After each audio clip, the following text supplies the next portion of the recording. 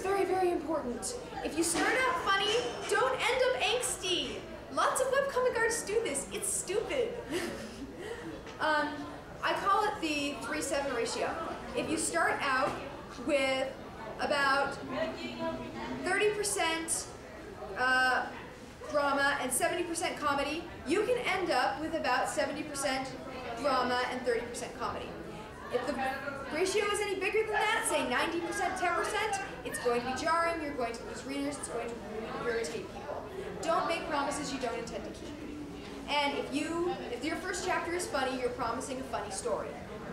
It's true. Hmm. So don't start, oh, this is so fun, and then go sudden, oh, everyone's dying, all this angst. I think, Yeah. I think the reason not this fun. is a common, very, very common problem, not just with webcomics, but every genre of storytelling, it's easiest Like to write. Trigun? It's easiest to start a story as a comedy, and it's easiest to end a story as a drama.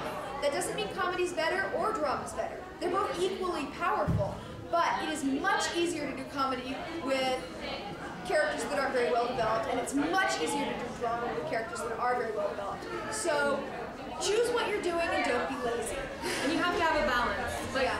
personally, I, yeah, Trigun's a great example. It starts really funny, and then it gets like, Whoa. I actually really love the parts, you know, I love the drama. But um, it needs to be able to go back occasionally. Go Yes. back to the funny and light it up, and then go back to the drama. Again, the 3-7 ratio. You can go Keep from mostly comedy to mostly drama, but you gotta keep, you have to have the drama at the beginning, you have to have the comedy at the end. But it's always good if, you know, try to keep the comedy not dumb. And then it will be so hard to make it dramatic and go back. Um, as far as audience opinions, don't pander, but do listen. Don't draw, you know, fan service in any way, not just the, you know, edgy way. Don't draw fan service just because some, you know, someone or even everyone seems to think it would be a good idea if it's going to damage your story.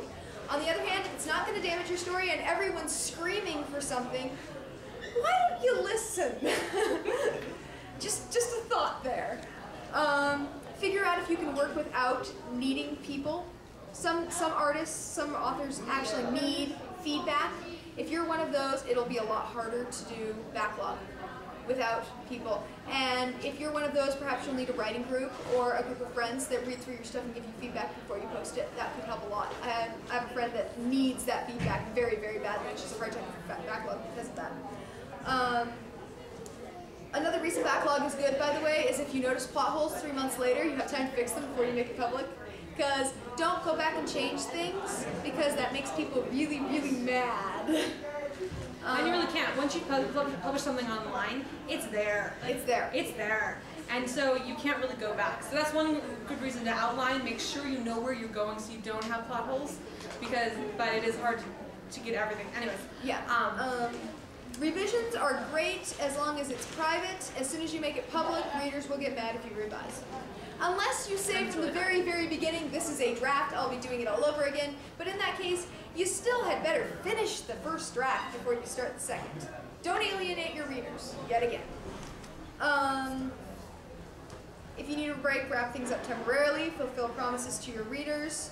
Um, don't don't delete old archives if you do restart. Mary Mary Melontool did that. It lost a lot of readers because people were so mad. Um, and once it's online, try keep it up. yes, That's why I haven't deleted my other one that hasn't been updated. Like there was another comic that I loved, Strings of Fate from 2000, etc. She took it down, and I loved it. And I was like, oh, keep it up. Yes. Even if it doesn't stop. I never finished. That's why she took it down. Yeah, yeah. Don't yeah. Don't don't give them something and take it away. That's mean. You want people who love your work. Don't make them hate your work because you won't let them have it. That's just silly.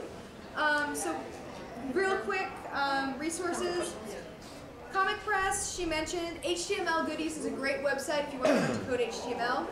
Free hosting, we went over that. Programs. Programs. Photoshop is obviously the best. I actually do my comics in InDesign, I, but I'm professional. I do layout professionally, so um, it's great. But you don't need that. You could actually do everything with the GIMP, which is a free program online. You can download it. Uh, when my hard drive crashed, I was working on the GIMP and my RAM and putting out comic pages. Yeah. Like I didn't have a hard drive. I was saving things on flash drives, but I was using the GIMP, and it doesn't do text that well, but it's workable. Anyway, Blambot is a great site for free fonts if you want more fonts. You know, um, because it, sometimes it's nice to have a font that's, I don't know about you guys, but I care about fonts a great deal. I, I will download like 200 fonts to try to find just the right perfect one for a title, for a logo, or for the font I want to be writing this particular short story's dialogue in. Um, make sure you choose something readable, but something like that will give you a chance to find a lot of options to find one that's readable. Um, if you're if you're writing something in a different language, by the way, just make sure it's clear it's in a different language. You can do it with those thingamajigs, or you can you, yes, the triangle brackets, or you can do it by changing the font. That happens too. Or or you can do some other weird things I've seen. Most of them aren't nearly as readable as either of those options, though, so be careful. Um, if you want some great writing advice, um, Writing Excuses podcast. Listen to it, it's really good. If you want some great insight into comics, Understanding Comics by Scott, Scott McCloud. It's a book. Yes, it's a book. Fantastic. Very, Great. very good. Very good. Um, And there's also the Secrets podcast, which is also another writing one. Yes. I love writing podcasts. They make me happy. um, if so, you've got everything together. You know exactly what you're doing. You're great. we're you five readers? Start out with webcomic lists like Top Web Comics, Online Comics, Tom Geeks. If you're a girl, you can join that one. Uh, Bell Free, Online Comics. there- There's a lot. Try Find those. advertise. Join them. It's a good idea. Um, also, one thing you can do, you can do guest comics or fan art for um, Established for established comics that you really love. And usually they'll provide a link back to you on that page where they post your guest comic or, your fan art, and that can get you hits and readers, which is happy. Um, another thing I've done is I just email people who do comics I really love, and oh so suddenly mention that I have a comic too. you know, it, usually it'll come up in conversation, and then I wind, I often wind up with a new friend, and everything works out great. So. We better go over questions real quick. Anyone have questions? Any questions? questions? Really quickly. Sorry. Um, after this is over, we are in the Artist Alley. You can come and talk to us anytime if you have questions because it's great to use Google and look things up. But when there's people who are experienced right in front of you, come talk to us. Yes. Yes. I guess anything you would suggest for like uh, doujinshi or actual fan com- comics? Oh! Yeah, Becky, say- you what- know say it this. Dojinshi, fan comic. What about it? Any this thing to suggest? Yeah, like I guess the copyrights and all that, or what? Oh, well, all right. you Dogwood have- Blossoms. Inuyasha Dojinshi. Very, very, very good.